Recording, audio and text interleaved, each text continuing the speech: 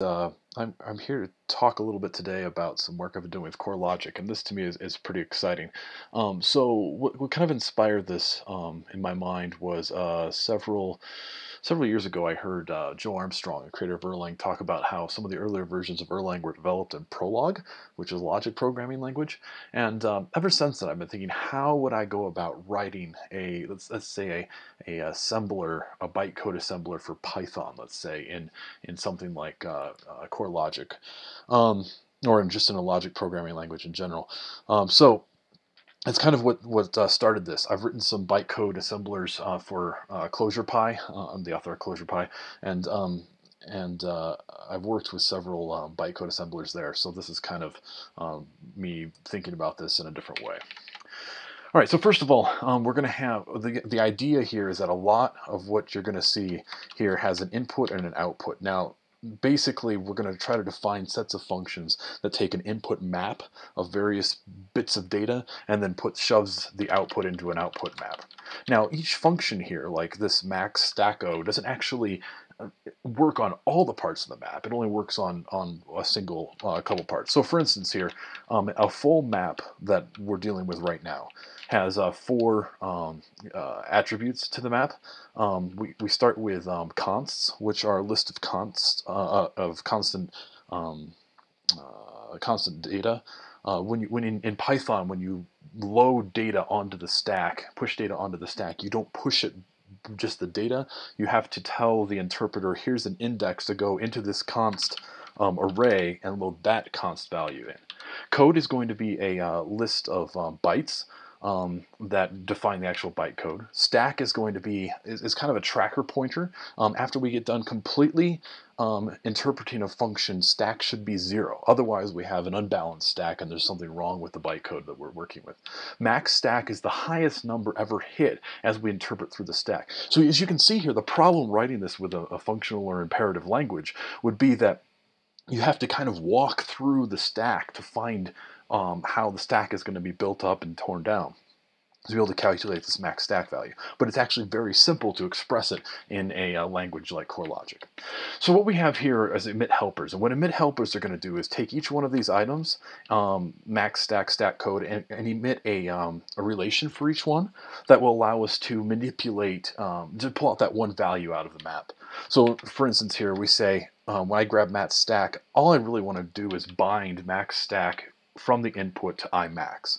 So here in max stacko, this calculates the um, if if we have found a higher point in the stack at this current uh, location. So what count says is that we're about ready to push one or more items onto the stack. Now see if that manipulates the max stack value in any way.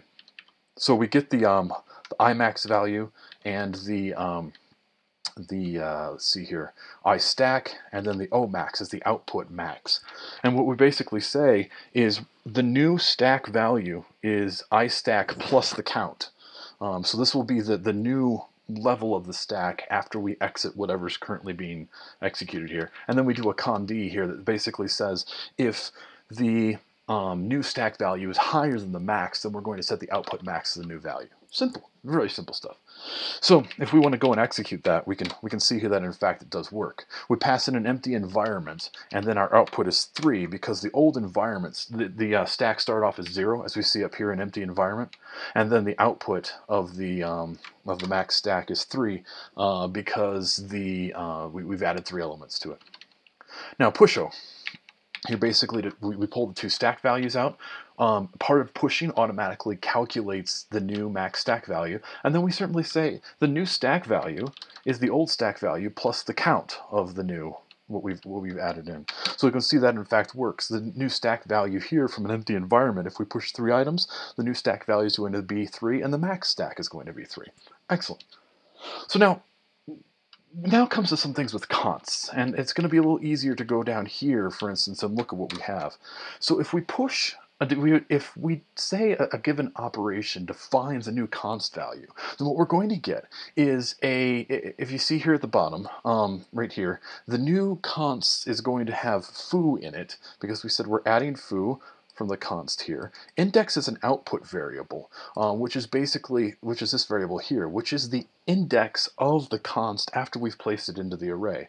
So obviously foo here is 0, um, and then we haven't modified any of the other variables, so everything else could just be anything. And we can see, um, so, so that works just fine. Um, if you go to my uh, other blog article, I talk a little bit about this, but uh, split 16 is a function that given a integer, will split it into the high and low bytes. And this is needed in Python because um, certain things like const, when you say push const to give it an index, that's a 16-bit integer. Um, most uh, byte codes in Python are single byte, and their arguments are often double byte, and uh, yeah, 16-bit. And then um, append 16, I don't actually know that we use that, so I won't go over that here. Um, so now, now let's, we can define some more attributes. And this is kind of the cool thing. Is, as you see here, we're building up these attributes to say, you know, what, let's describe what a bytecode does. So for instance here, one argop says that this is an operation that is a, um, this is the um, code for the op the, the one byte code, and this is the 16-bit argument. And it says it's a operation that has one argument. And what we're going to do is say, okay, because this op is a single byte, we're going to define it, uh, construct it to an interval 0 to 255. And then we're going to say, we're going to pull out our code, our input code and our output code from the two environments. We're going to split the argument into a low and a high. And then what we're going to do is we're going to append, so we have the input code, and then the output code is going to be the input code with the addition of op high low, right? So we've added three more bytes onto it. Similarly, we have uh, zero arg op, which is exactly the same, but we just have the single op instead of the high-low. So now we have some um, helper uh, constants here. We have load const and binary add. And in Python, load const will um, bring a const and push onto the stack, and then we'll do a we can do a binary add that'll take the two constants and and add them together, right? So now we can do load const O. And what this basically defines, it says we have an input and an out and an op and an output.